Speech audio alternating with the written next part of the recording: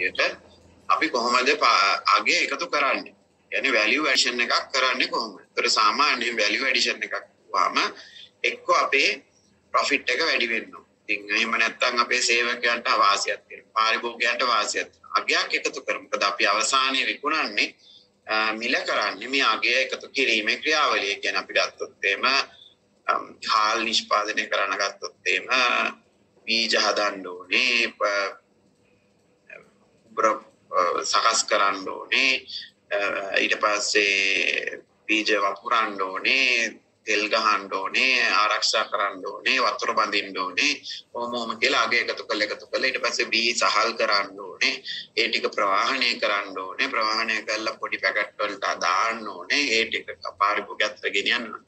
මේ ගත්තා මුළු අග එකතු කිරීම සම්පූර්ණ ඒ අගයට තමයි පාරිභෝගිකයා බිලක් ගෙවන්නේ. එතකොට ආයතනයක් පැත්තෙන් ගත්තොත් ඔයා සුළු හමාද පරිමාණය ආයතනයකට ඩිජිටල් තාක්ෂණය ගේන්න හිතන හැම අවස්ථාවකම හිතනවනේ මේ තාක්ෂණය මං ගෙනාවාම මට කොතනද අගේ එකතු කරන්න පුළුවන් එහෙම නැත්නම් මම අගේ එකතු කිරීම සඳහා කොහොමද මම තාක්ෂණය භාවිතා කරගන්නේ කියලා. ඒතර මෙහෙයුම් පැත්තෙන් ගත්තොත් එහෙම සේවා හෝ නිෂ්පාදන ආයතනයක් වුණත් අලවිය වැඩි කරගන්න මට ඩිජිටල් තාක්ෂණය පාවිච්චි කරගන්න පුළුවන්. ඒ කියන්නේ මට පුළුවන් ද ඩිජිටල් තාක්ෂණය පාවිච්චි කරලා මගේ පාරිභෝගික ප්‍රමාණය වැඩි කරගන්න. නැත්නම් අලෙවි කාර්යක්ෂමතාවය වැඩි කරගන්න. මට පුළුවන්ද මගේ ආයතනයේ පිරිවැය අඩු කරගන්න ඩිජිටල් කරණය තුලින්. ඒ කියන්නේ මට පුළුවන්ද ඵලදායීතාවය වැඩි කරගෙන මිනිස්සු පොල කෑලි වල ලියන වෙලාව අඩු කරලා තැනින් තැනට යන්නේ අඩු කරලා මේ පද්ධතිය පද්ධතිය කාර්යක්ෂම කරගන්න අපිට ඩිජිටල් තාක්ෂණය පාවිච්චි කරන්න පුළුවන්. ඒ පිරිවැය අඩු කරගන්න.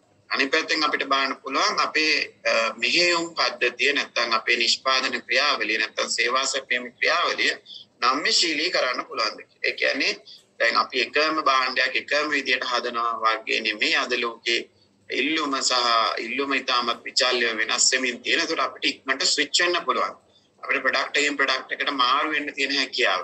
එහෙම නැත්නම් ලොකු ක්වන්ටිටියක් කරලා ඒ ලාභය තියාගෙනම පොඩි ක්වන්ටිටි එකක් සර්විස් කරන්න පුළුවන් අපිට. මේ නාමශීලීත්වය ළඟා කරගන්නත් අපිට ඩිජිටල් තාක්ෂණය ළඟා කරගන්න පුළුවන්. අවසාන වශයෙන් යෙදුම් වලට සාපේක්ෂව නිමුම් වැඩි කර ගැනීම ඵලදායකතා වැඩි කර ගැනීම ක්‍රියාවලිය ප්‍රශ්න විසඳීම සහ ප්‍රශ්න තේරුම් ගැනීම එහෙම නැත්නම් තාක්ෂණ එකතු කිරීම තුලින් ශ්‍රම ශ්‍රමේ භාවිතාව අඩු කරවීම එහෙම නැත්නම් වේස්ට් එක අපි කියනවා අර අතරමැද තියෙන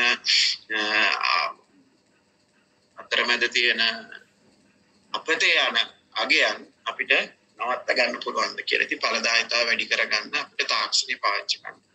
අපි තේරුම් ගන්න ඕනේ මේ තාක්ෂණය නැත්නම් මොන කොතනද අපේ ආයතනයේ මෙහෙම අගයක් අපිට එකතු කරන්න පුළුවන් මෙහෙයුම් පැත්තේ. ඊළඟට බලන්න පාරිභෝගිකයාගේ පැත්තෙන් අපිට අගයක් එකතු කරන්න පුළුවන්. දැන් ඉන්න පාරිභෝගිකයෝ කවුද? ඒගොල්ලන්ට මීට වැඩිය ගුණාත්මක සේවයක් දෙන්න පුළුවන්. අපේ භාණ්ඩයේ හෝ සේවාවේ ක්වලිටි එක අපිට වැඩි කරන්න තාක්ෂණය පාවිච්චි කරන්න පුළුවන්. ඒගොල්ලන්ට අපි ලබා දෙන සේවාවන් වැඩි කරන්නේ දෙන සේවාවන් වල ගුණාත්මක භාවය වැඩි කරන අපිට ඩිජිටල් තාක්ෂණය පාවිච්චි කරන්න පුළුවන්. අභිරුචිකරණය එහෙම නැත්නම් අපි කියන කස්ටමයිසේෂන් ඒතර පාරිභෝගික අපිත් එක්ක ඩිරෙක්ට්ලි සම්බන්ධ වෙනවා නම් ඩිජිටල් තාක්ෂණය හරහා අපිට පුංචි පුංචි වෙනස්කම් එයාට අවශ්‍ය කරන භාණ්ඩයට සිදු කරන්න පුළුවන්. ඇඳුමක් පහනවා නම් ඒකට නමක් එකතු කරන්න. පාට මාරු කරන්න. කොලර් එකේ පාට මාරු කරන්න. සාක්කුවක් ඇඩ් කරන්න.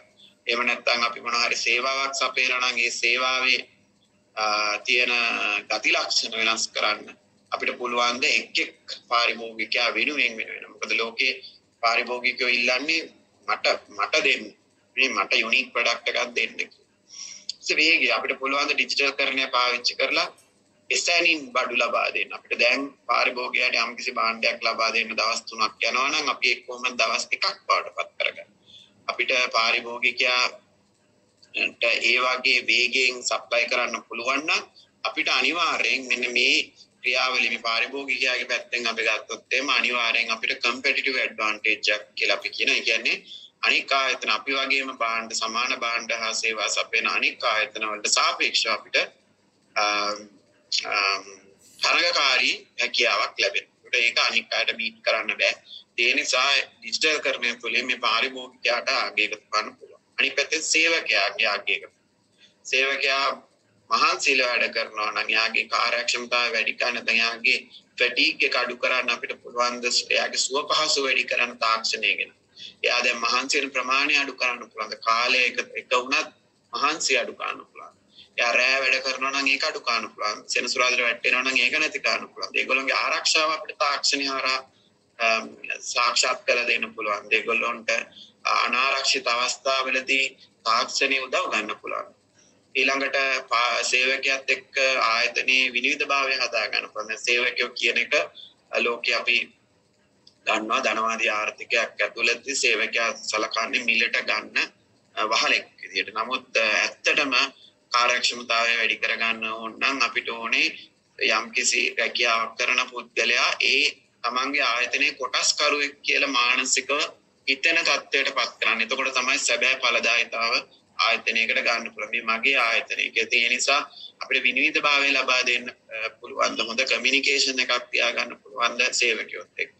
ඇප් එකක් හදලා ඒගොල්ලොත් එක්ක තොරතුරු මාරු කරගන්න පුළුවන්. ඊට පස්සේ සේවක තෘප්තිය වැඩි කර ගැනීම සඳහා ඒගොල්ලොන්ගේ අභිප්‍රේරණය වැඩි කරගන්න අපිට ඩිජිටල් තාක්ෂණය පාවිච්චි කරගන්න විවිධ ආකාරයෙන් හැකියාවක් තියෙනවා. ඉතින් සේවකයන්ගේ පැත්තෙන් ගත්තත් අපිට අගය එකතු කරන්න පුළුවන්. නමුත් වඩා වැදගත් වෙන්නේ මෙන්න මේ අගය එකතු කිරීමේ මොකටද මම අගය එකතු කරගන්නේ කියලා අපි අපි තීරණය කරන්න ඕනේ.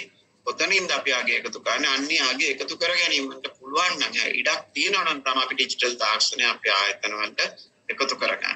ඊට පස්සේ නිෂ්පාදන සේවා ගත්තොත් එහෙම අපි ගත්තොත් එහෙම අපි අපි අපි නිර්මාණය කරන භාණ්ඩය හෝ සේවාව නිර්මාණය කිරීම සඳහා අපි ඩිජිටල් තාක්ෂණය පාවිච්චි කරන පොදු උදාහරණයක් විදිහට ඇඟලුම් කර්මාන්තය අපි මෙච්චර කාලයක් පහුගිය අවුරුදු දෙක කොවිඩ් කාලේ නකල්ම අපි සාම්පල්ස් හදලා පිටරට යවනවා කස්ටමර්ස්ලට ඒගොල්ලෝ සාම්පල්ස් බලලා ඒ වගේ අඩුපාඩු ටික ලියලා අපිට ආපහු එවනවා. ඊට පස්සේ අපි ආපහු සාම්පල්යක් ගන්නවා. අදලා ආයෙත් යවනවා ආයෙත් ටෙස්ට් කරනවා. මාස තුනක් විතර උඩ පල්ලෑ යනවා. දැන් 3D තාක්ෂණය හරහා මේ සාම්පල් නිර්මාණය කිරීම සම්පූර්ණයෙන් ඩිජිටල් තාක්ෂණය හරහා සිද්ධ වෙනවා. එතකොට අර කාලය සෑහෙන අඩු වුණා වියදම සෑහෙන අඩු වුණා.